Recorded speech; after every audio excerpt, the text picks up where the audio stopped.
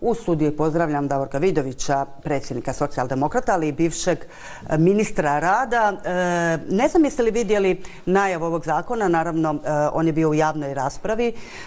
Je li po vama dobar smjer da se ide u vrlo veliko pojednostavljivanje i ja ću podsjetiti, dakle, prije je bilo dvije i pol tisuće kategorija različitih koeficijenata uz još dodatnih 560 različitih izvojenih dodataka i prava.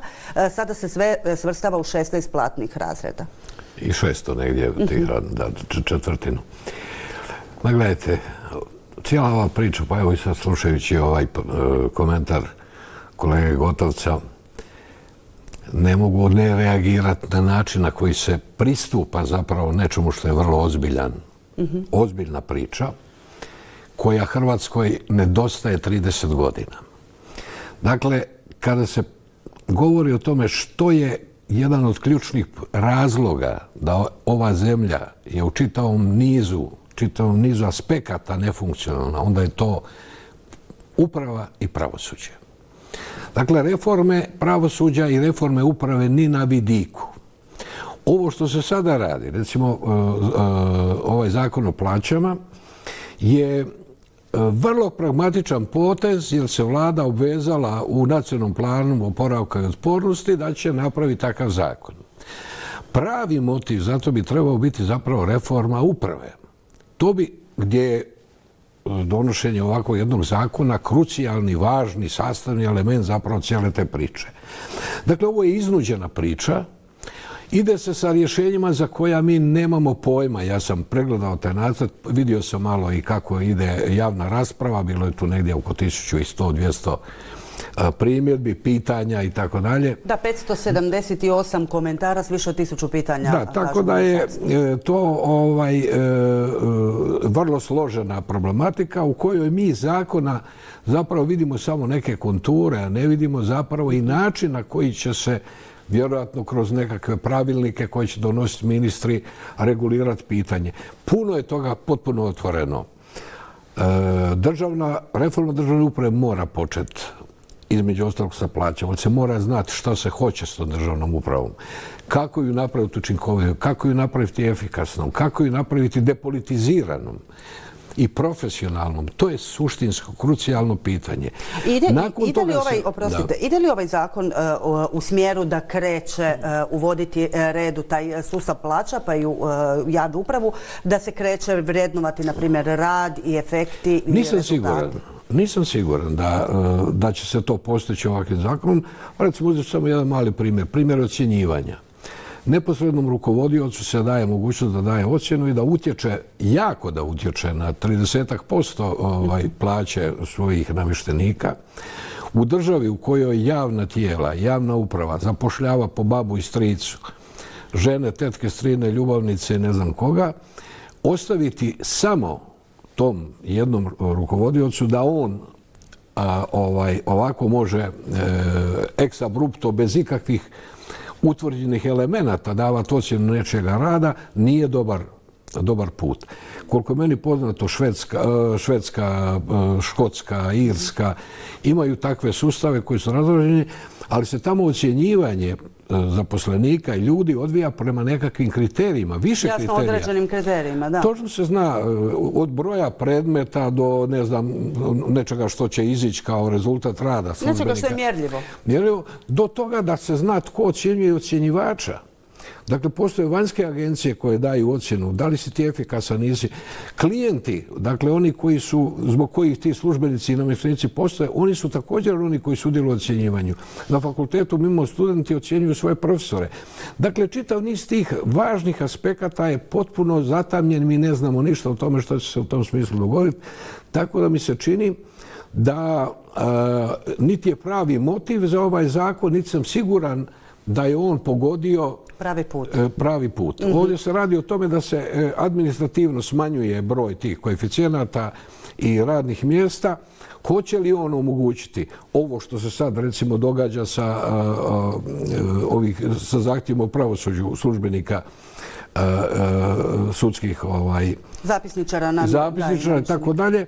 Što bi da se udovolji ovom zahtjevu kojega oni imaju o povećanju, dovelo do toga da bi recimo u takvom jednom sustavu, novom sustavu plaća čistačica koja čisti sud bila plaćena za 300 eura više nego ona koja čisti bolnicu ili školu ili ne znam neku drugu ustanovu.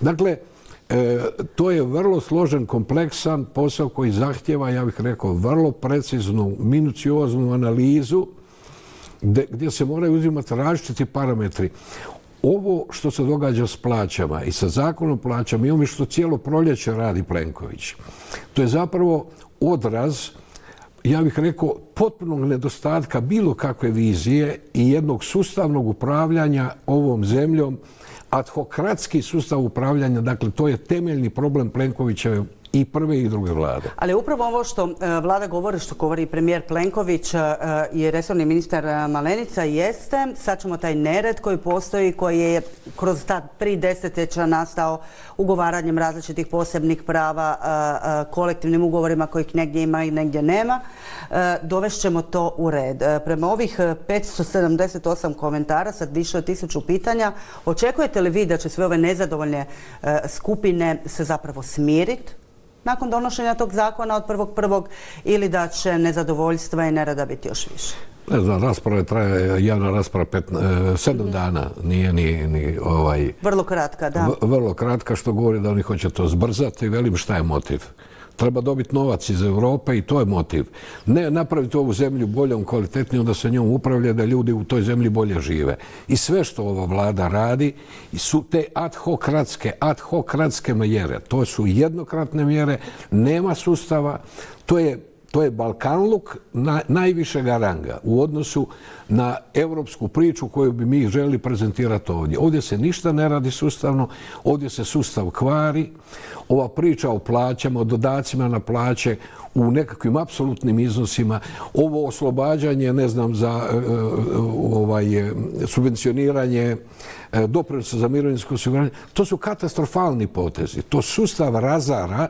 Dakle, onaj loš sustav koji smo imali bit će gori i to ja vidim kao ozbiljan problem upravljanja ovom zemljom. A politički efekt takvih mjera i takvih poteza koji govori, koji donosi vlada ili premijer Plenković, jer zapravo je suština HDZ-ove kampanje koja je, jasno je to već krenula za iduću super izbornu godinu, mi ćemo svima povećati plaće. Mi ćemo, svako će nešto, nešto dobiti.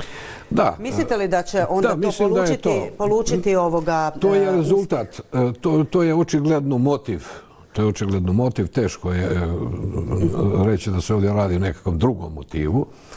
Sasvim sigurno motiv nije da ljudi doista bolje i kvalitetnije žive. Ovdje se radi o nekakvim dodacima, jednokratnim isplatama, ja bih rekao korumpiranju biračkog tijela, korumpira se, potkupljuju se birači, e da bi se stvorio dojam, tu je vlada koja vam nešto daje.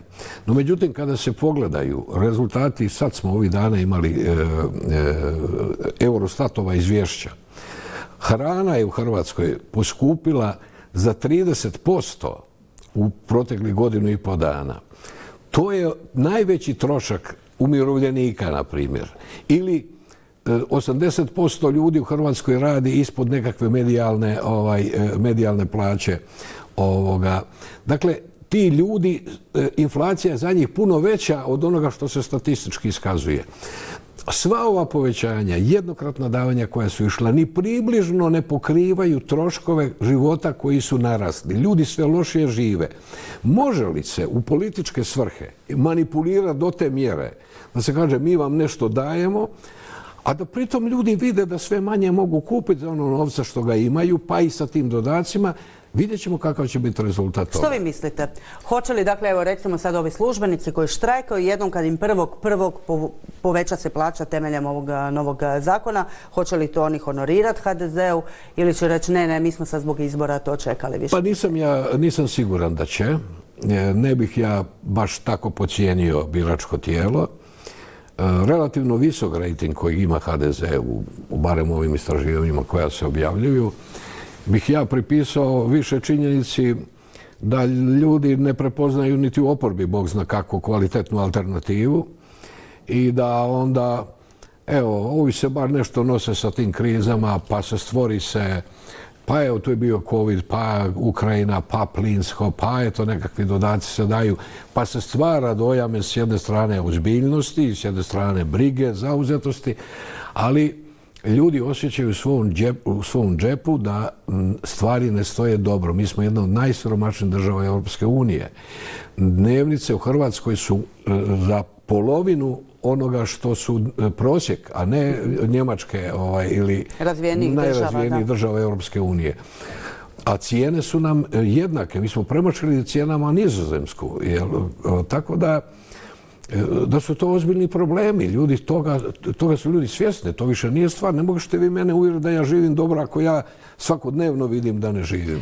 Još jedno pitanje sam htjela e, da se vratimo na sam e, ovaj e, zakon. Kao što su iz vlade upozorili, tu je bilo jako puno različitih dodataka koji su propisani kolektivnim ugovorima, različitim dogovorima koji su parcijalno sklapani. Poništava li ovaj zakon sve ta, sva ta prava, sva ta dodatna prava koja izlaze iz kolektivnih ugovora? Može li se to uopće tako učiniti? Pa, sasvim sigurno novi zakon će zahtijevati ponovne, ovaj, ponovno sklapanje novih ugovora temeljem novih zakonskih rješenja. Dakle, to pretpostavlja jednu aktivnu poziciju i sindikata, i poslodavaca, i države. Dakle, u tom jednom tripartitnom dijalogu te nove, e, novi gabariti koji će se zakon donijeti će zahtijevati dakle, i redefiniranje svih tih kolektivnih ugovora koji su postignuti. Dok se oni ne promijene, oni će važiti dok se ne promene, ali će se morati mijenjati i usklađivati sa zakonima. E, kako gledate i na ovu polemiku, e, uspjeli ste vjerojatno vidjeti ovih dana e, između Vrhovnog suda, odnosno predsjednika Vrhovnog suda i premijera upravo oko tih plaća, gdje premijer onda izvlači podatak kolika je plaća predsjednika Vrhovnog suda, a on mu odgovara moja je plaća zapravo još i veća od onog što ste vi rekli. Zauzimate li uopće tu stranu? Mislite li da je neko od njih više u pravu? Pa ja mislim da je u pravu e, e, sudac Vrhovnog suda i da on dobro adresira e, problem. Mhm. Sustav ne funkcionira, sustav se nalazi pred problemom. Ljudi mjesec dana štrajkaju, sudovi ne rade, nisu u svojoj funkciji, inače imaju strašno puno problema u pravosuđu, jel? I sada dodatno on traži, riješite taj, riješite tu situaciju kako god znadete. Mhm. Kome će se vratiti nego prava adresa je vlada i predsjednik vlade. Dakle, i ministar, zapravo ljudi koji su zaduženi u ovoj zemlji da, se, da rješavaju te probleme.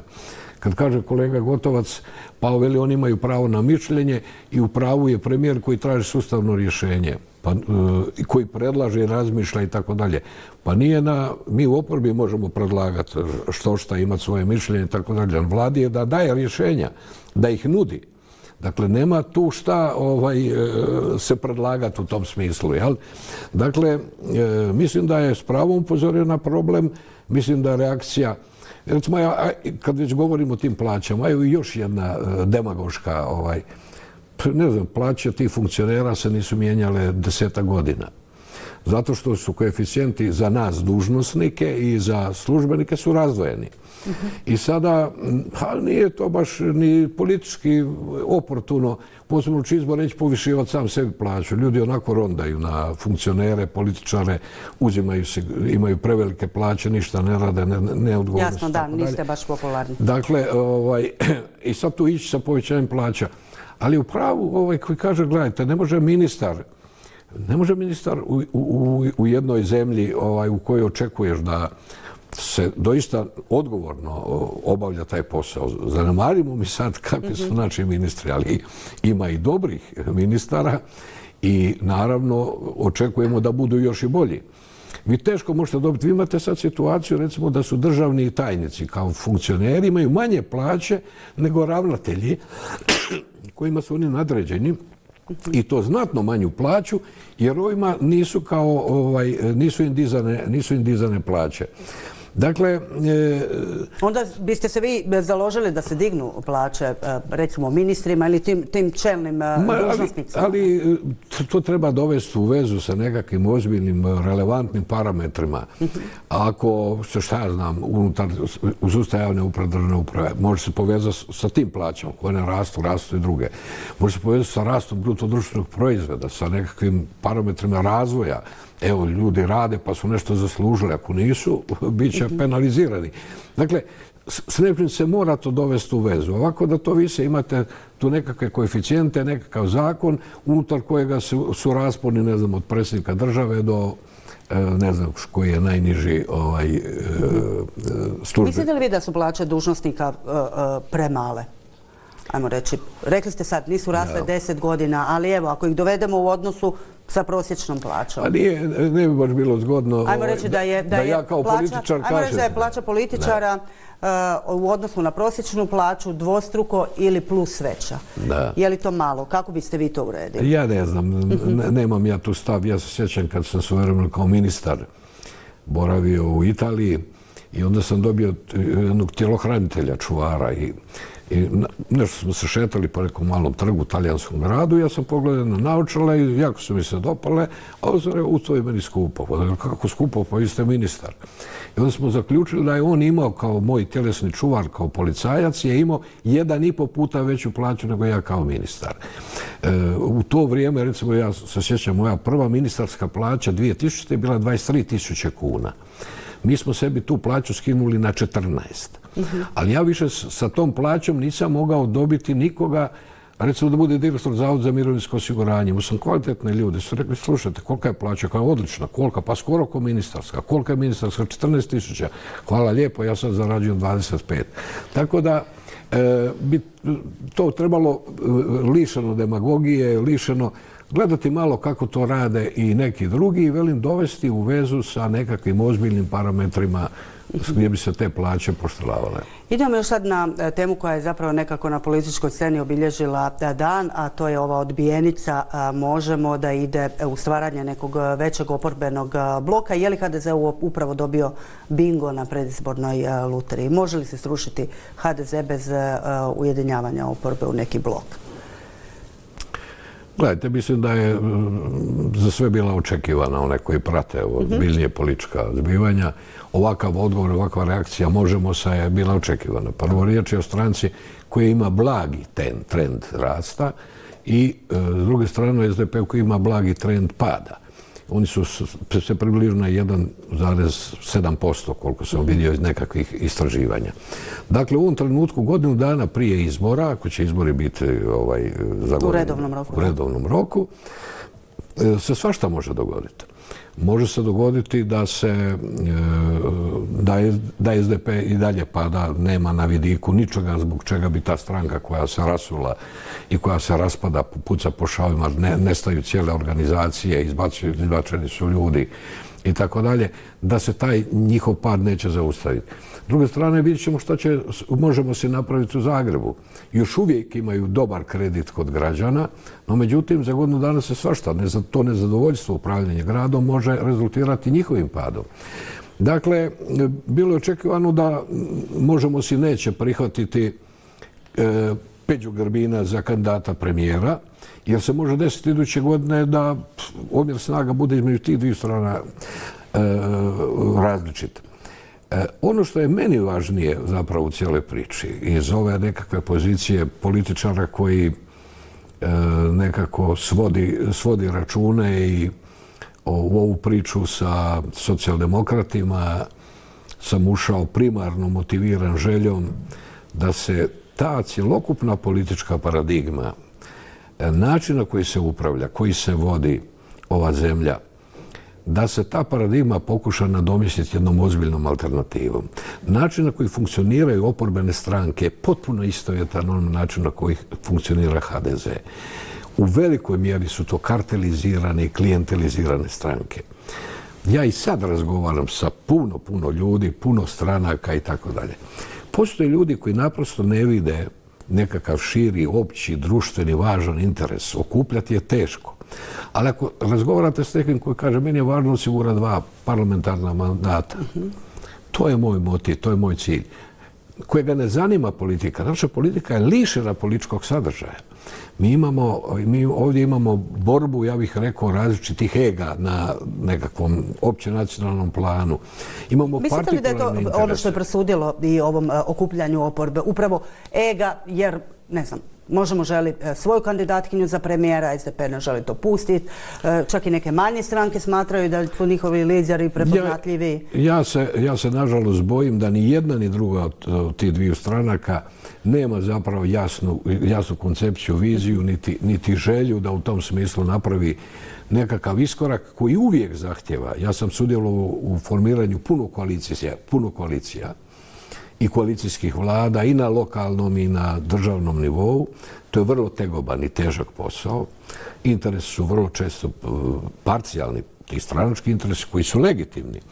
Ali oni ne smiju prekriti temeljni cilj, a to je da se nešto napravi kad se ako se osvoji, ako se dobije vlast da se nešto napravi ozbiljno, inače za građane je potpuno svejedno, ali se ta stranka zove SDP, HDZ, možemo si ili socijaldemokrati ako mi nismo u stanju generirati nova ideje.